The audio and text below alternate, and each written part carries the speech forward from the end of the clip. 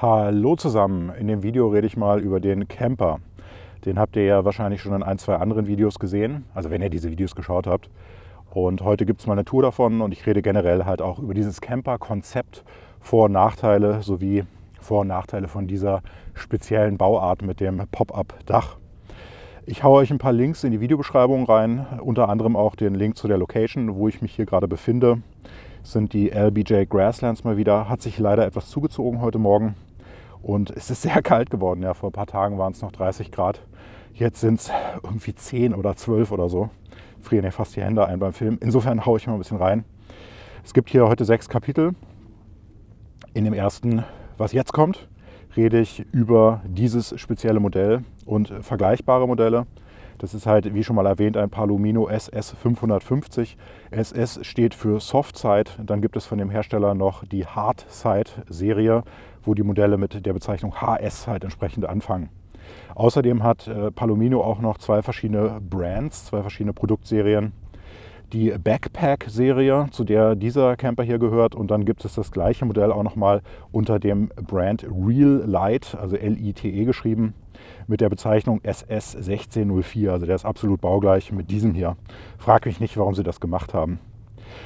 Wie gesagt, Link zu der Webseite des äh, Herstellers gibt es in der Beschreibung. Die haben sechs äh, verschiedene SS-Modelle. Das klingt grauenvoll, ja, also Softside-Modelle. Und dieser Camper hier ist, äh, wenn man den so von der Größe her als Hardzeit würde haben wollen, sollte man sich mit dem HS 750 Modell beschäftigen.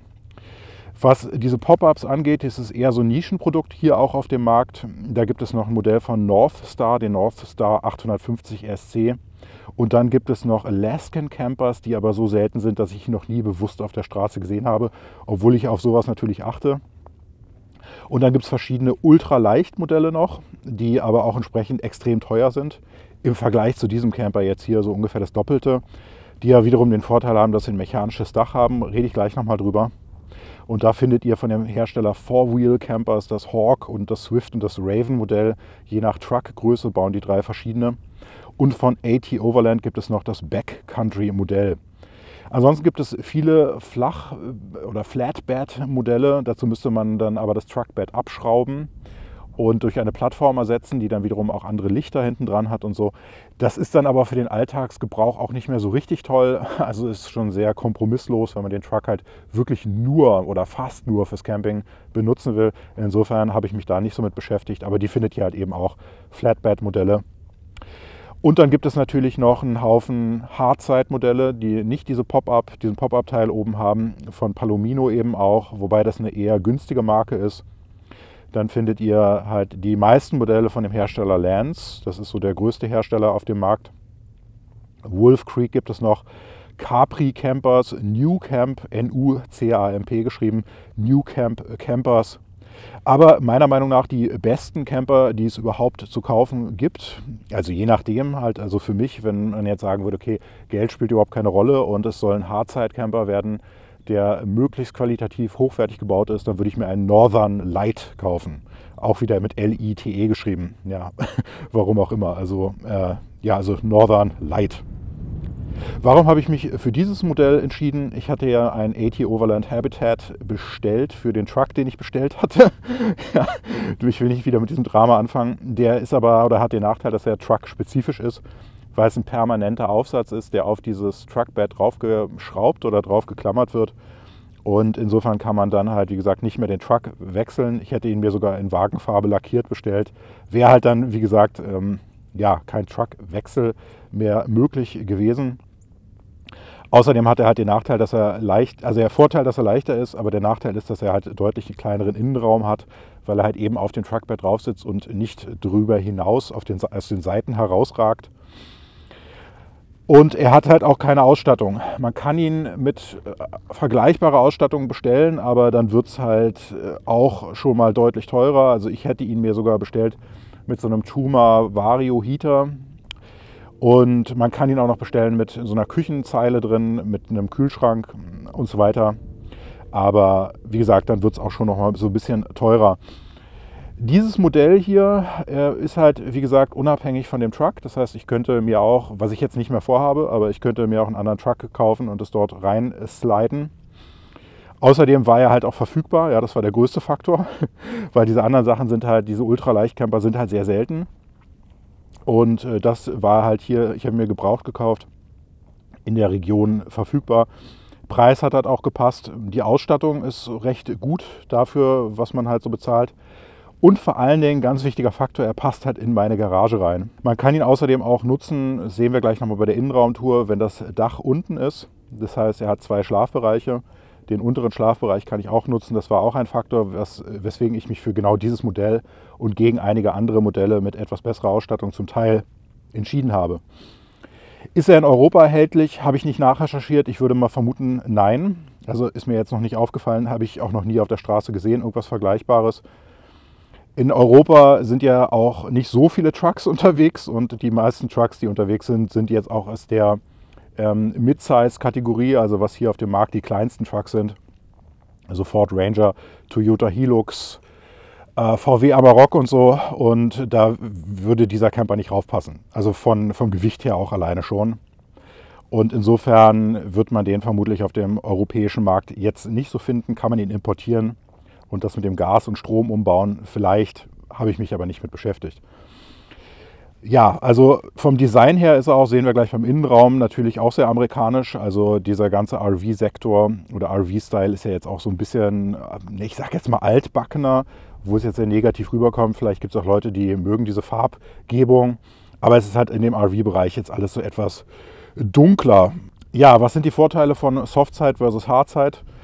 Also die Softside, das was das hier halt ist, dass man das Dach oben hochfahren kann das ist eine Höhe von 22 Inch. Ich habe das jetzt alles mir nur in äh, US-Maßeinheiten gemerkt. Ich blende euch dann jeweils die metrischen Maßeinheiten ein.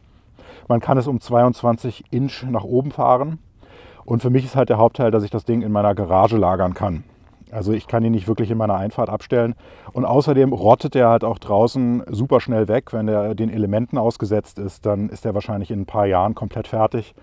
Ich kann halt die Lebenszeit, Lebensdauer von diesem Fahrzeug, äh, von diesem Camper erheblich erhöhen, wenn ich ihn in meiner Garage parke. Das war halt für mich der Hauptfaktor, warum ich einen Pop-up-Camper haben wollte. Dann ist es beim Fahren ein bisschen angenehmer, weil die Windangriffsfläche ist etwas geringer. Also sie ist definitiv noch da, aber halt die Durchfahrtshöhe ist geringer. Das heißt, äh, man kommt unter Umständen irgendwo noch durch, unter irgendwelchen Bäumen durch oder so. Wobei einem Hardside-Camper, der halt höher ist, dann schon Schluss ist. Dann sehen wir gleich, wenn wir drin sind, die Rundumsicht ist halt auch ganz nett.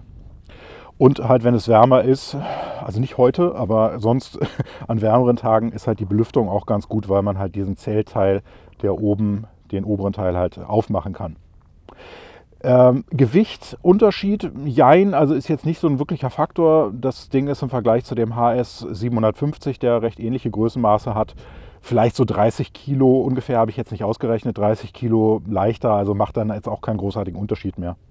Was sind die Nachteile von dieser Softside-Variante?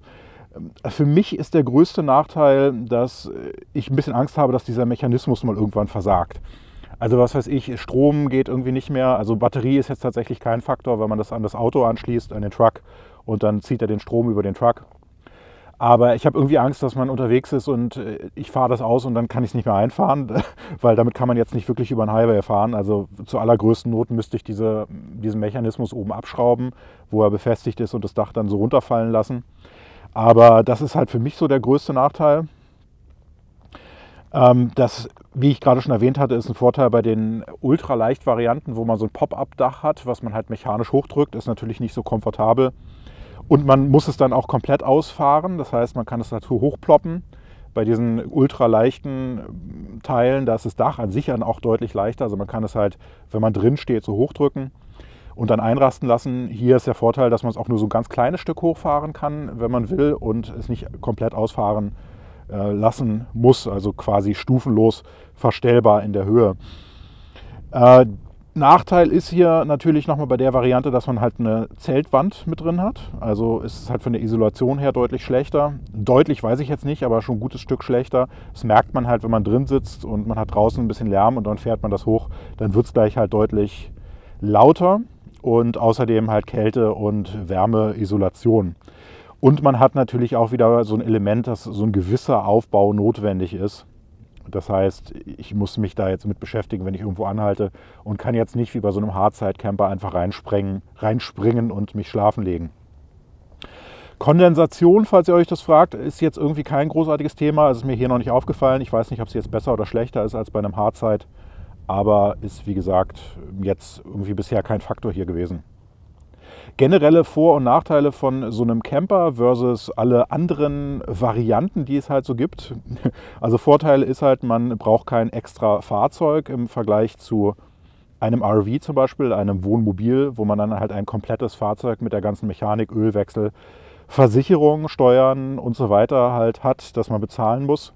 Das hat man hier jetzt halt nicht. Das heißt, man kann halt den Truck separat nutzen und dann, wenn man campen gehen will, den Camper aufladen, hat ansonsten noch ein recht brauchbares Alltagsfahrzeug.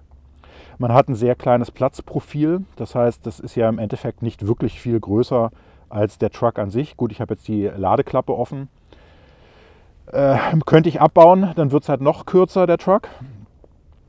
Aber das ist halt wirklich sehr angenehm, wenn man irgendwo unterwegs ist. Man kann halt auf einem normalen Parkplatz bei irgendeinem Restaurant parken. Das geht halt jetzt, wenn man es mit einem Anhänger vergleicht, äh, unter Umständen nicht mehr oder mit einem größeren RV, Wohnmobil geht es halt auch nicht mehr. Und man kann halt mal eben kurz einen U-Turn irgendwo machen, was man vielleicht mit einem größeren Gefährt dann nicht mehr so ohne weiteres machen kann. Im Gegensatz zu einem Anhänger insbesondere und auch einem RV teilweise ist es halt auch deutlich geländefähiger. Man kann vielleicht was ähnliches erreichen mit so einem Sprinter-Van, wenn man den höher legt und Geländereifen raufzieht, aber wenn man halt äh, vorhat, ins Gelände zu fahren damit, dann ist halt der Truck oder so ein Truck mit Allradantrieb absolut die beste Plattform dafür, insbesondere wenn man den jetzt noch höher legen würde, wobei ich das jetzt nicht vorhabe. Weiterer großer Vorteil von so einem Truck-Camper ist, dass man ihn nicht registrieren muss. Das heißt, er braucht kein eigenes Kennzeichen, er braucht keine eigene Versicherung und also kann man natürlich jetzt über das Auto mit versichern, wenn man will, aber man braucht keine separate Haftpflichtversicherung, man braucht keine Steuern, muss keine Steuern oder Registrierungsgebühren dafür zahlen. Hier in Texas jedenfalls, in anderen Bundesstaaten soll es das zum Teil geben. Kann ich euch jetzt nicht sagen, wie viele Bundesstaaten oder welche genau, aber es soll es wohl in anderen Bundesstaaten geben, dass man ein Kennzeichen dran anbringen muss. Hier in Texas und vermutlich in der Mehrzahl der Bundesstaaten nicht. Also ist ein großer auch finanzieller Vorteil. Nachteile von so einem Truck-Camper versus andere Varianten ist halt, sind die Fahrzeuganforderungen. Habt ihr ja wahrscheinlich auch mitgekriegt, dass es das etwas schwieriger gemacht hat, einen Truck zu finden, weil ich mir ohne den Truck-Camper sonst einen etwas kleineren Truck gekauft hätte, der für, den, für das Ziehen von einem relativ großen Anhänger auch schon ausgereicht hätte. Aber durch das enorme Gewicht auf der Ladefläche braucht man eigentlich auch schon was, was größer ist als so ein F150 oder Silverado 1500. Äh, weitere Nachteile äh, ist halt auch, sind die ganzen Befestigungen, reden wir gleich nochmal drüber, es ist auch relativ aufwendig. Dann natürlich der im Vergleich zu einem RV geringere Platz im Innenraum, weil man halt eben keine Durchreiche in den Fahrerraum hat. Ja. Ähm, auch eine geringere Ausstattung häufig. Also man kann die Dinger halt auch mit Dusche und äh, fest installierter Toilette kaufen, aber die sind dann halt meistens relativ klein im Vergleich zu einem Anhänger. Also für das gleiche Geld hätte man einen relativ großen Anhänger bekommen, der halt eben eine äh, Vollformat-Dusche und, und so weiter drin gehabt hätte, teilweise vielleicht sogar so einen Backofen noch oder irgendwas. Also wenn man viel Ausstattung für einen Familienausflug haben will, ist man mit einem Anhänger natürlich besser bedient. Außerdem hat man bei so einem Truckcamper auch nicht viel an Stauraum im Vergleich zum RV oder auch beim Anhänger hat man meistens auch noch so einen Stauraum mit so Durchreiche ähm, oder, und sowas. Das hat man hier jetzt halt alles nicht so schnell noch über die Befestigung geredet, bevor mir jetzt hier das Gesicht gerade einfriert bei den Temperaturen. Also ich habe das jetzt hier ähm, gleich richtig gemacht bei diesem Camper. Bei dem F250, den ich vorher hatte, habe ich andere Tie-Downs gehabt. Das sind jetzt hier welche, die am Rahmen befestigt werden. War eine ziemlich schwierige Installation, weil man muss unter anderem so Schrauben mit so einem Draht durch den Rahmen durchfädeln, damit die da so rausgucken. Und ist ein bisschen stressig, weil wenn man die in dem Rahmen verliert, kriegt man sie nie wieder raus. ja, ich habe es hingekriegt, ohne eine Schraube zu verlieren, Gott sei Dank. Und die Dinger wird man wahrscheinlich dadurch aber auch nie wieder rausnehmen. Man kann diese Teile, die hier rausgucken, kann man entfernen. Das heißt, man kann die ja, so rausziehen mit so Pins. Ich habe die Pins durch Schrauben ersetzt mit äh, Muttern, weil ich keinen Bock drauf hatte, dass mir irgendein Assi die Teile klaut irgendwo an der Tanke oder so. Also wenn der Camper nicht drauf ist. Also ich fahre mit den Dingern jetzt eigentlich permanent drauf immer herum.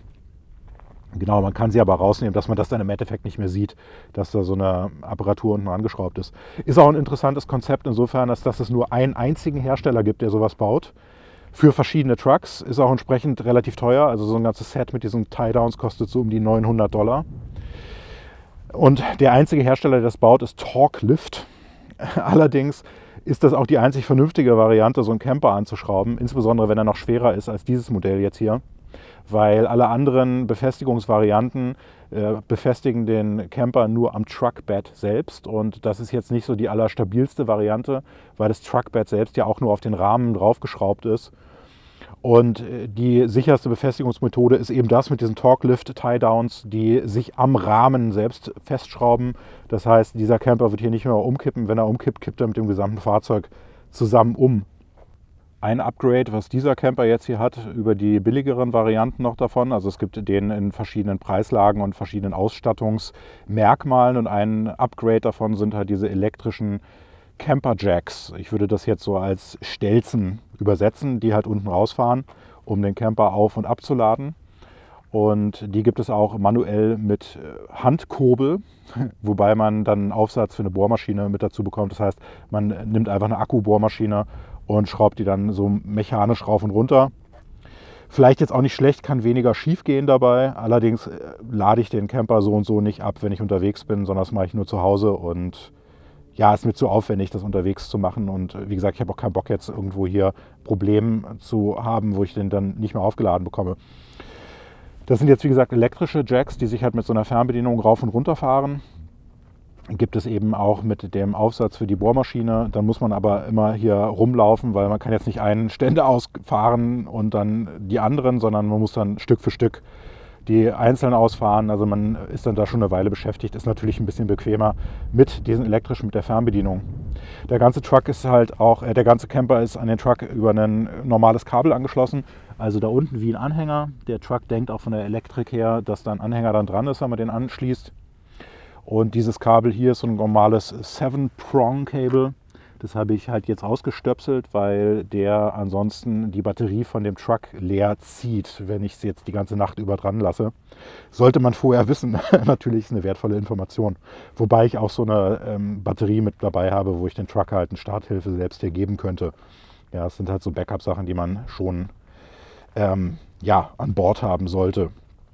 Der Truck hat außerdem, deswegen muss er, der Camper, muss er angeschlossen werden, hat neben den Bremslichtern hinten, hat er halt diese Begrenzungslichter, oben die gelben Dinger, die halt legal vorgeschrieben sind, wenn man ein Fahrzeug auf der Straße bewegt, was über 80 Inch breit ist, Spiegel nicht mit eingerechnet, um dem entgegenkommenden Verkehr zu signalisieren, dass da jetzt ein extra breites Fahrzeug eben kommt. Machen wir mal eine Tour von diesem Modell hier. Mir frieren jetzt langsam auch wirklich die Hände ein. Was hat das Ding gekostet? Also ich habe den Gebrauch gekauft, ist ein 2021er Modell, das heißt 2020 irgendwann gebaut und ich habe ihn gebraucht gekauft für 18.500. Neu kosten die so um die 20.000 herum, also je nach Ausstattung kann man bis zu 24.000 Dollar bezahlen, auch so ein bisschen je nach Location. Günstigere Preise bekommt man meistens, wenn man irgendwo nach Indiana oder so rauffahren würde. Da ist ein großer Händler, der bietet die teilweise für so 17.000 bis 18.000 Dollar an. Dann aber eben halt mit den mechanischen Stelzen und mit weniger Ausstattung. Äh, hier war, waren ein bisschen Upgrades auch noch mit drin. Also deswegen waren die 18.500 ein ganz guter Preis. Ich habe unter anderem diese Kamera, die Rückfahrkamera mit dazu bekommen mit einem 8 Zoll Monitor der auch irgendwie mehrere hundert Dollar kostet. Ich habe diese Tie-Down, ähm, ja, diese Spanndinger hier halt mit dazu bekommen. Die kosten tatsächlich auch ein Hunderter pro Stück. Deswegen habe ich sie hier halt mal mit einem Schloss gesichert. Klar kann man das mit einem Bolzenschneider abschneiden, aber mir ging es nur darum, dass nicht irgendein Assi, dass wenn ich irgendwo an einem Restaurant oder einer Tanke anhalte, mal eben ganz kurz so abzieht und, und mitnimmt. Hätte ich mir jetzt auch nicht gekauft. Man kann auch mit normalen Turnbuckles äh, arbeiten, mit so Schraubdingern und Ketten, aber die habe ich halt mit dazu bekommen. So, ja. Und ich habe auch noch, was habe ich noch mit dazu bekommen? Ja, der Vorbesitzer hat diese Lifters hier ähm, abgegradet. Also der hat neue Lifters eingebaut, weil Palomino hat hier halt leider bei diesem Modell, äh, ich weiß nicht, ob es immer noch der Fall ist, haben sie halt Scheiße gebaut und hier diese Motoren eingebaut, die im ja, Wasser, wo Wasser reingekommen ist, wenn es geregnet hat. Und dann sind die weggerottet und haben dann auf einmal nicht mehr funktioniert. Was natürlich halt ein Problem ist, wenn du irgendwo auf einer Campsite bist, wieder nach Hause fahren willst und dann sind die Motoren kaputt. Und der hat die hier gegen so Marine Grade, äh, also für den Wasserschiffsverkehr geeigneten Liftern ausgetauscht selbst. Die waren jetzt auch nicht ganz billig und die haben selbst so eine Kapazität von 330 Pfund Gewicht pro Stelze oben. Also ich rede wie gesagt von den Dingern, die das Dach nach oben fahren. Das hat er abgegradet. Und dann gab es noch eine Klimaanlage, die ich schon abgebaut habe. Erkläre ich gleich warum. Also auf dem Dach oben drauf war so eine Dachklimaanlage äh, mit Heizung, Heizung und Klimaanlage. Und dann, ja, genau, das waren so die Upgrades, die er mit dazugegeben hat. Das Ding war sehr gepflegt, es wurde nie drin gekocht. Es riecht nicht irgendwie großartig. Äh, insofern war es eigentlich ein ganz guter Deal und war nur so eine Stunde von mir entfernt, was auch ein äh, Faktor war.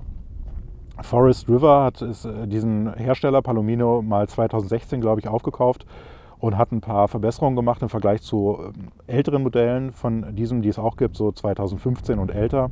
Und zwar haben die vorher einen Holzrahmen gehabt, was bei dem Northstar 850 SC immer noch der Fall ist. Jetzt inzwischen haben sie das abgegradet zu, äh, zu einem Aluminiumrahmen. Genau, außerdem haben sie seit 2018 einen Durchlauferhitzer drin. Vorher hatten sie so einen Wassertank, also einen Wasserboiler drin. Jetzt haben sie inzwischen einen Durchlauferhitzer verbaut, was ganz angenehm ist. Der befindet sich hier hinter dieser Klappe. Ja, kommen wir gleich mal hier zu der Tour. Was gibt es hier so alles an ja, Zeug, an Kabeln, an Dingen? Das ist halt hier, wie gesagt, sind die, äh, Motor, äh, die, die Stecker für die Stelzen. Die kann man einfach abschrauben. Dann ist hier so ein genereller Schalter, um das äh, Ding von der Fahrzeug oder komplett die Elektrik zu trennen. Hier hinter der Klappe sind so zwei Terminals, wo man äh, halt was ähm, eine Solarpanel anschließen kann oder eine andere Stromquelle nochmal extra. Hier ist eben der Anschluss für diesen 7-Prong. Ich habe den leider ein bisschen beschädigt selbst schon. Ich habe den halt mit Stecker zusammen so halb rausgerissen, weil ich das Ding sehr dämlich, habe mich geärgert, halt hochgefahren habe, während der Stecker drin war. Und dann habe ich nicht bedacht, dass der sich natürlich äh, ja, weiter entfernt von dem Truck und der Stecker, also der Truck war da nicht drunter und der Stecker selbst ist dann halt so rausgerissen, weil das Ding nach oben gefahren ist. Naja, gut. Passiert, ja. Und hier ist noch so eine Rolle, das ist ein Truckbed-Cover, so mit Klettverschluss, was ich mir eingebaut habe. Ge genau deswegen, weil es eben halt äh, zusammenrollbar ist und dann der Truckcamper hinten drauf passt, ohne dass ich das großartig abbauen muss. Hier ist der Kühlschrank hinter, äh, hinter diesen Lüftungsdingern und dieser kleine Schlauch, der hier rausschaut, ist halt so Kondenswasser innerhalb des Kühlschranks, was dann hier halt so raustropft, wenn es denn entsteht. Hier füllt man Wasser ein und hier drunter füllt man, also füllt man kein Wasser ein, sondern kann halt City Water Connection einen, Wasser, einen Wasserschlauch mit Wasserdruck drauf anschließen. Also ich kann es an eine Wasserleitung anschließen und dann muss ich die Pumpe innen nicht benutzen, um Druck aufzubauen. Hier ist die Entlüftung für die Heizung drin. Also hier kommt dann ja Abluft raus. Hier sind zwei Steckdosen, die funktionieren nur, wenn man den Tra äh, Camper generell an eine Steckdose angeschlossen hat. Das heißt, der Sinn ist davon, dass man hier draußen irgendein Accessoire oder irgend, irgendwas dran anschließt, wenn man sich draußen vor diesem Camper befindet. Den gibt es auch noch zu kaufen oder als Ausstattungsplus mit so einer Markise, die man an der Seite elektrisch ausfahren kann, hat der jetzt hier nicht. Hier ist wie gesagt der Wasserboiler, ähm, also nicht Boiler, sondern der Durchlauferhitzer drin. Darüber ist der Anschluss, wo man halt den Camper selbst an ja, 20 Amp oder 30 steht drauf, 30 Amp anschließen kann mit so einem runden Stecker. Und darunter kommt das Abwasser aus der Spüle raus tatsächlich. Das heißt, ich habe hier diesen goldenen äh, Wasserhahn, ist natürlich nicht wirklich Gold, aber ein bisschen extra anschließen, habe ich hier angebaut damit es nicht so die Wand runterläuft. Äh, und man könnte hier jetzt halt auch einen Schlauch anschließen und das Ganze in so einem Eimer auffangen oder so. Habe ich jetzt hier nicht gemacht, ja, wollen wir nicht päpstlicher sein als der Papst. Und hier ist eine Outdoor-Dusche. Das heißt, da sind zwei Hähne dran und ein Duschschlauch, der sinnloserweise abgeschlossen werden kann. Ja. Der Propangastank ist nicht abgeschlossen, aber hier hat sich der Hersteller gesagt, ja, nicht, dass hier einer heimlich duscht. Ja. Und äh, ich habe den allerdings die Pins rausgenommen. Also man kann es einfach mit dem Schraubenzieher jetzt so öffnen ohne Schlüssel. Ja, total sinnlos abzuschließen. Aber da ist halt eine Außendusche dran, die auch an den Durchlauferhitzer angeschlossen ist. Also man kann halt hier außen warm duschen mit so einem Duschzelt idealerweise wobei einem hier vermutlich keiner was wegschaut. Ja, hier ist äh, ein Außenlicht, ein gelbes Licht mit eigenem Schalter, so ein Porchlight in Gelb, damit es weniger Moskitos anzieht. Die Tür, Türgriff, ähm, ja, mein witziger Büroaufkleber oben drauf hätte ich mir jetzt in Deutschland nicht drauf geklebt, aber hier dachte ich mir, es ist so ein kleiner, kleiner Gag, ja. Ne? So als Deutscher identifizierbar, aber ohne Deutschland-Aufkleber oder Deutschlandfahne oder wie auch immer. Genau, auf der Seite hier ist nicht mehr so wahnsinnig viel los. Also hier ist halt ein äh, Fenster, logischerweise, und auch gleichzeitig ein Notausstieg. Das kann man von innen halt komplett öffnen und rausdrücken. Hier muss ich mal kurz den Hand, die Hand des Gimbals wechseln. Ist halt der Propangastank drin. Das ist ein ganz normaler Barbecue-Tank. Finde ich auch ganz angenehm, dass man den nicht füllen lassen muss, sondern den einfach austauscht gegen so einen normalen Gas-Barbecue-Tank. Wie gesagt, nicht abgeschlossen. Da oben der Haken ist nur, um das halt einzuhaken. Ja, das beendet eigentlich auch schon so die Außentour. Wenn man das Ding runtergelassen hat, gibt es halt hier diese Latches oben, die man, da wo man es dann verriegelt mit ich würde sagen, wir gehen jetzt einfach mal nach innen rein. Da ist es auch deutlich wärmer. Puh. So Leute, ich bin mal hier reingegangen und habe die Tür zugemacht und die Heizung angeschaltet. Also das ist das Geräusch, was wir im Hintergrund hören. Das ist hier der Heizlüfter, wo die heiße Luft rauskommt, weil es mir doch ein bisschen zu kalt geworden ist draußen. Aber ich wollte ja eh über den Innenraum jetzt hier reden. Ein paar Maße nochmal von dem Camper. Ich blende sie einfach mal kurz ein. Also die Gesamtlänge die Höhe von dem Teil mit dem Dach unten und die Breite. Dann noch die Höhe auf dem Fahrzeug mit dem Dach oben und die Höhe im fahrbereiten Zustand mit dem Dach unten. Gewicht ist bei 723 Kilo, also nicht 732, wie ich fälschlicherweise gesagt habe, habe ich einen Zahlendreher drin gehabt. Hier drin ist noch ein 15 Gallonen Wassertank. Also auf dem Typenschild steht 16. Das wird dann wahrscheinlich stimmen. Auf der Herstellerseite steht noch 15. Hier drunter ist eine 12 Volt Batterie, eine relativ große. Müsste ich ausbauen, um das Typenschild zu sehen, wie viel Ampere die hat. Weiß ich jetzt nicht. Ist relativ groß. Also hält hier eine Nacht locker durch, wenn man hier nicht sonst wie viel an Geräten auflädt und alle Lichter anschaltet und so weiter. Deswegen habe ich hier auch noch eine zweite Batterie, um meine Kameras so zu laden. Hier oben sind halt lauter Lichter in der Decke drin. Das sind diese Dinger, die man so drücken kann. Sind, glaube ich, acht Stück oder so in diesem ganzen Camper verteilt. Daran mangelt es jetzt definitiv nicht. Äh, die Innenraumhöhe ist vielleicht ganz interessant noch zu wissen, sind 84 Inch. Das heißt, ich kann hier halt locker drin stehen. Wenn das Dach unten ist, reduziert sich das auf 63 Inch. Das heißt, ich kann dann nur noch gebückt stehen aber ich kann aufrecht sitzen und ich kann hier halt auch liegen. Das heißt, ich kann den Camper halt auch nutzen, ohne dass ich das Dach hoch mache, was mir halt wichtig war, weswegen ich mich auch für dieses Modell entschieden habe. Diese Couch-Ecke hier hat nämlich eine Länge von 83 Inch, das heißt, ich kann hier halt ganz gut liegen und eine Breite von 35 Inch, wobei ich das ein bisschen erweitert habe, weil es eigentlich so eine Sitzecke mit so einem komischen Tisch ist, den ich relativ nutzlos fand und habe hier so eine Holzplatte drunter geschraubt, habe ein bisschen an Stauraum darunter gewonnen und brauche, wie gesagt, diesen kleinen Tisch jetzt nicht unbedingt. Eine Sache, die mich jetzt hier auch noch äh, stört, was ich rausreißen werde, vermutlich mal. Also deswegen dachte ich mir, mache ich die Campertour mal, bevor ich da anfange, Holzpaneele hier rauszureißen, ist dieser Schrank. Den kann man nicht ganz entfernen, weil da auf der Rückseite außen halt der Propangastank drin ist. Aber dieser Propangastrank ist, nimmt halt tatsächlich nur einen sehr kleinen Teil dieses Raums ein. Ich weiß nicht, ob man das sehen kann, wenn ich hier, hier mal so reinhalte. Aber der Propangastank ist halt wirklich sehr klein da drin. Halt so mit äh, ja, Metall ummantelt. Also entfernen kann ich den natürlich nicht, aber die haben hier halt sinnloserweise so einen riesigen Schrank um diesen kleinen Propangastank äh, rumgebaut, was halt ein bisschen nervig ist, weil das hier genau der Bereich ist, wo ich meine Beine halt äh, drin habe, wenn ich hier drauf schlafe. Außerdem haben sie halt hier die Höhe dramatisch erhöht, nur um da so eine ganz kleine dämliche Schublade einzubauen, ja, weil die ist halt wirklich winzig und man kann diesen Stauraum definitiv besser nutzen. Deswegen werde ich es, glaube ich, rausreißen was ein bisschen schwierig ist, weil da ein paar Kabel drin sind. Hier ist eine Steckdose drin, eine USB-Steckdose. Braucht man eigentlich auch nicht unbedingt, aber gut. Und das Thermostat für die Heizung. Ja, das kann man aber alles verlegen, also das werde ich nochmal irgendwann angehen. Diese Plattform hier oben drauf brauche ich auch nicht unbedingt. Hier drüben ist äh, ein Kühlschrank, wie man unschwer sehen kann. Was habe ich hier drin? Äh, ich hatte überlegt, ob ich so ein... Oh, jetzt habe ich so eingefrorene Hände, ich kriege das hier kaum auf. Oh, Jesus. warte mal ganz kurz. Puh, so, ich hatte fast überlegt, ob ich hier so ähm, Back to the Future mäßig eine Flasche Ketchup reinstelle und so ein Subway-Sandwich, aber habe ich nicht gemacht. Ja, das hat einen Kühlschrank, der über 110 Volt, 12 Volt und Propangas läuft, mit so einem Tiefkühlfach hier oben drin. Ich werde den tatsächlich, glaube ich, überlege ich gerade, ob ich den rausreiße weil ich zwar schon einen Kühlschrank gebrauchen kann, aber es muss jetzt nicht so ein Kühlschrank sein, der über Propangas und 110 Volt läuft, sondern mir reicht eigentlich für meine kurzen Trips auch eine Kühlbox, die Eis drin hat. Oder wenn es ein längerer Trip werden sollte, würde ich tatsächlich eine Kühlbox bevorzugen, die über 12 Volt läuft und die halt äh, an eine Batterie angeschlossen ist, entweder an den Camper oder an eine portable Batterie und nicht halt irgendwie über diesen Propangasflasche auch noch Propan zieht und so weiter und so weiter.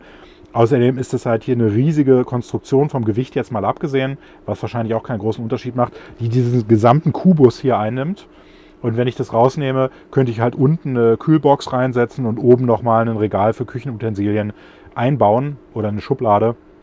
Wobei der außen halt natürlich diese Lüftung oder Entlüftung hat, die ich dann zumachen müsste. Also weiß ich noch nicht, mal schauen. Ist halt so mein Plan, das rauszunehmen.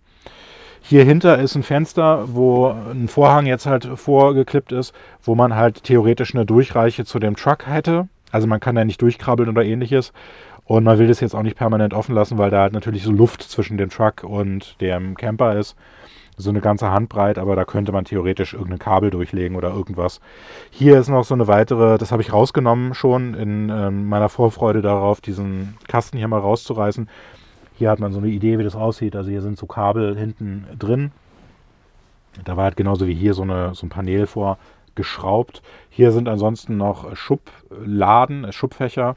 Also keine keine Schubladen, aber halt solche Storage-Dinger hier halt eben, wo man so ein bisschen Zeug rein äh, tun kann. Hier die Wipes sind sogar noch aus dem Interspar aus Österreich mit dem Container rübergewandert. Und das Ganze ist ziemlich tief, geht hier ziemlich tief, die volle Breite fast von dem Camper nach rechts und links rein. Ist tatsächlich ganz praktisch, würde ich hier lassen würde sogar fast mal überlegen, das Ganze, wenn mir, mir richtig langweilig ist, das Ganze mal irgendwie weiß oder hellgrau zu streichen oder so. Also von dem Farbschema hier bin ich jetzt nicht so wahnsinnig begeistert, kann ich aber definitiv mit leben.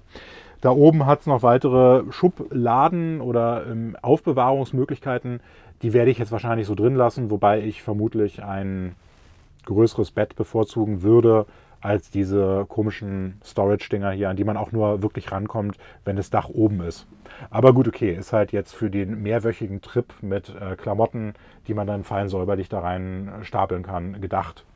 Das hier ist recht praktisch, das würde ich, wenn ich den Kühlschrank rausreiße, tatsächlich auch so erhalten oder drin lassen, weil es halt für mich so eine ganz gute Plattform ist, auf der ich jetzt im Stehen zum Beispiel essen könnte, wenn ich dann will oder hier halt Sachen drauflegen kann. Halt, wie gesagt, so als Arbeitsfläche ist es nicht schlecht. Hier hat man halt einen Zwei-Burner-Platte, also Gas natürlich, ein äh, Waschbecken, was nur funktioniert, wenn man oder vernünftig funktioniert, wenn man hier die, die Pumpe anschaltet. Das ist halt so eine Self-Priming Pump, Pump. Das kennt man ja sicherlich aus dem Wohnmobilbereich in Deutschland auch. Und dann hat man hier das Wasser, das wie gesagt ohne Grauwassertank halt hinten rausfließt. Es gibt so Modelle, die eine Dusche noch mit drin haben, die wäre wahrscheinlich aber für mich eh zu klein gewesen. Von daher habe ich mich da auch gegen entschieden. Und es gibt halt Modelle auch, die eine Toilette mit drin haben. Aber letztendlich hat man dann halt auch so das ganze diesen ganzen Ekelkram mit einem Grauwasser und einem Schmutzwassertank und so weiter, ja, also da hatte ich eigentlich auch nicht so einen richtigen Bock drauf. Deswegen ist meine Toilettenlösung das jetzt hier, wobei man jetzt hier in so einer Location wie hier, wo man nicht auf dem Campingplatz ist, natürlich auch einfach die rausgehen kann und die Petunien bewässern kann. Will man dann abends wahrscheinlich auch nicht mehr unbedingt machen. Deswegen ist das jetzt hier ganz gut, wobei ich jetzt in Nummer 2, ohne jetzt zu sehr ins Detail zu gehen, da jetzt nicht unbedingt drauf machen würde wollen. Hier ist noch so ein Netz wo man so Küchenrollen und so weiter, wie man hier sehen kann, äh, rein tun kann. Hier ist so eine Stange, wenn man das, diesen Zeltbereich von außen reindrücken will, wenn man das Dach runtersenkt, ohne den Hocker zu benutzen, dann geht diese Stange ganz gut dafür. Feuerlöscher natürlich. Hier ist eine Fernbedienung, die Fernbedienung angeschlossen für das Dach und die Stelzen außen. Das ist eine und dieselbe Fernbedienung die man an- und ausschalten kann, wahrscheinlich um die Elektronik davon zu schützen, falls es hier mal einen Kurzschluss gibt oder ähnliches, dass man es nur anschaltet, wenn man es halt benutzt. Darüber nochmal eine weitere Steckdose. Hier ist das Control, Control Panel für den Durchlauferhitzer. Und hier ist, wie schon erwähnt, die Heizung, wo das Thermostat aber hinter mir ist. Hier ist noch ein kleine, kleines Fach, wobei ich mir überlege, auch hier diese die Tür sozusagen auszubauen, weil das Problem ist dabei, ist natürlich äh, schon sinnvoll gemacht, dass es in die Richtung öffnet, weil man halt hier innen drin in dem Camper ist. Aber ich habe hier so ein paar Sachen drin, wie zum Beispiel Taschenlampe, Messer und so, die äh, ich auch von außen eigentlich ganz gerne nutzen würde wollen. Aber es ist halt total scheiße, wenn man hier an der Tür ist und dann nicht reingreifen kann, weil das dann halt so in die eigene Richtung, also in die falsche Richtung dann von der Perspektive aus öffnet. Außerdem könnte man hier halt noch eine weitere Schublade einbauen oder ähnliches, weiß ich noch nicht. Das sind so Kleinigkeiten. Das hier hinter ist halt auch einfach nur eine dünne Abverkleidung für die Spüle, die dahinter ist. Also hier ist letztendlich dieser ganze, ganze Heiz, Heizung, Durchlauferhitzer, Kühlschrank, Kabel, sonst was Zeug, alles drin. Die Platte sollte man natürlich, äh, wenn man, das kann ich ja schon mal machen, sollte man halt zumachen, wenn man fährt, weil die aus Glas ist oder so tempered Glas, also beschichtetes Glas, Sicherheitsglas. Aber wenn man es vergisst und die dann während der Fahrt runterfällt bei der nächsten äh, Linkskurve, dann hat man wahrscheinlich viele kleine Arbeitsplatten hinterher. Ansonsten, ja, es ist auch noch eine ganz gute Arbeitsfläche. Aber ich bin jetzt auch nicht so der große Kochtyp, der jetzt beim Camping hier irgendwie was kochen muss. Und ich würde auch in so einem kleinen Raum hier auch nicht Bacon abraten oder so.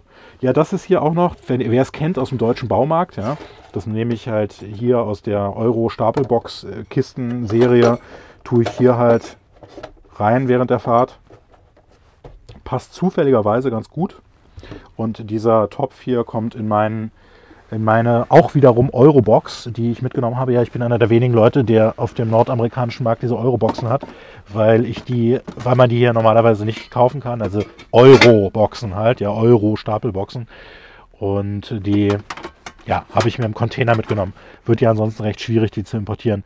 Das baue ich mir vielleicht auch nochmal insofern um, als dass ich das hier unten rausreiße. Diese Leiste habe ich mich bisher noch nicht getraut, wo halt der, der Tisch normalerweise drauf wäre der Fußraum von dem Tisch und dann würde ich mir das hier vielleicht nochmal so ein bisschen besser einbauen, dass man so eine Schublade hat zum Rausziehen. Hier ist auch noch eine Jalousie natürlich hinter vorhanden, äh, wo man das zumachen kann. Ich habe mir hier so ein Ding gekauft, äh, was so auf Magnetbasis ist, was man halt mit Klettverschluss so ausfahren kann, ähm, was es noch so ein bisschen besser abdichtet, isoliert.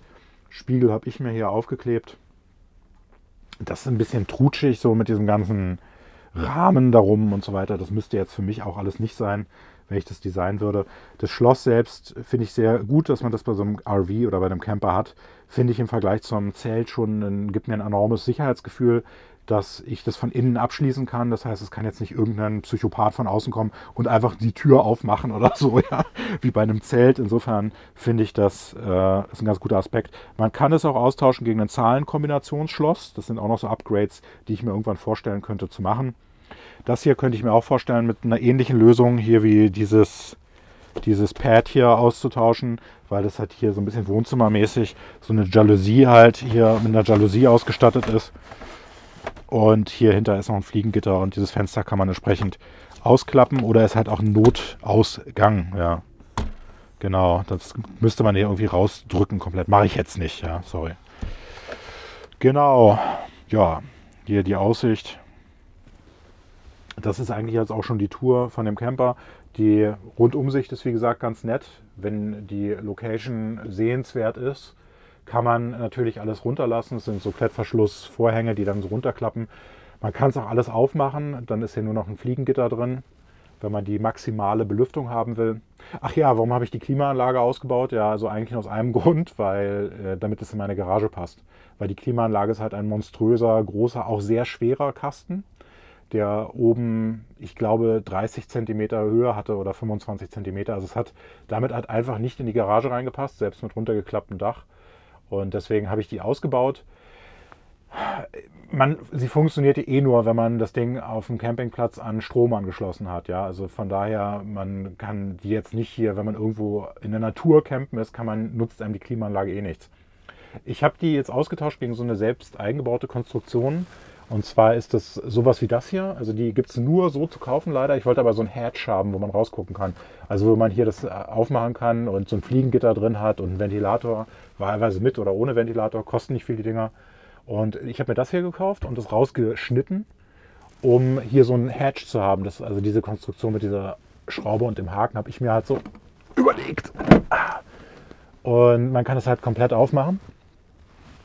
Ähm, Ja, weil ich insbesondere, wenn das Dach unten ist, da so rausgucken kann. Ja, ist eigentlich ganz cool. Das heißt, ich kann halt hier ähm, zum Beispiel eine Kamera aufs Dach stellen und so ein Timelapse machen. Oder halt einfach rausgucken, ja, wie es so draußen aussieht. ja, nee, wollte ich halt haben, so ein, so ein Hatch, weil ich mir dachte, okay, zwei, zwei Ventilatoren, zwei Ventilatoren hier in diesem Camper reichen mir eigentlich auch schon. Und äh, ja, so für die Entlüftung oder Belüftung brauche ich jetzt nicht noch einen weiteren dritten Ventilator hier drin. Diese ominösen Haken hier oben an der Decke sind übrigens für so Hängeregale. Also die habe ich mit dazu bekommen, habe ich aber abgenommen, weil die mir den Innenraum zu klein gemacht haben und ich diesen ähm, ja etwas merkwürdigen Stauraum, weil man da jetzt nichts Schweres reintun kann, nicht unbedingt brauche. Insofern habe ich die abgenommen, weil sie mir halt, wie gesagt, den Innenraum jetzt ein bisschen zu klein machen. Und insbesondere wenn die Decke unten ist, kann ich mich dann hier auch nicht mehr hinsetzen oder so, weil dann da so ein komisches Stoffregal so runterhängt. Ja, brauche ich nicht unbedingt, deswegen habe ich sie abgemacht, mir hier als Wäscheleine so ein, so ein Spanngurt drüber gezogen für das Handtuch hier und so. Ja, genau. Ja, das äh, war's. Also das war die Tour von dem Camper. Vielen Dank mal wieder fürs Reinschauen und ihr werdet ihn ja sicherlich auch nochmal in einem späteren Video wieder nochmal sehen. Vielleicht dann ohne dieses Regal. Mal schauen. Alles klar. Vielen Dank und bis dann. Tschüss.